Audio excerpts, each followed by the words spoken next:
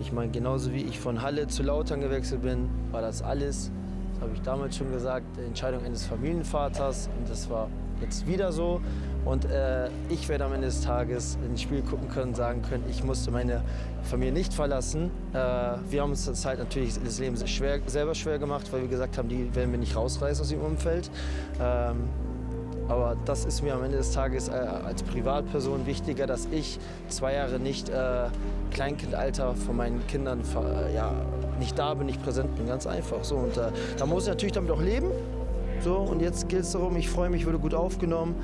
Ja, und jetzt äh, heißt es einfach weiterarbeiten. Und privat genießen. Nochmal, äh, das heißt nicht, dass ich der Übervater bin. Ich komme trotzdem nachher nach Hause und schreie nach fünf Minuten, weil er gar keiner zuhört. Aber äh, das ist ja das Schöne am Vater oder Eltern sein, ja.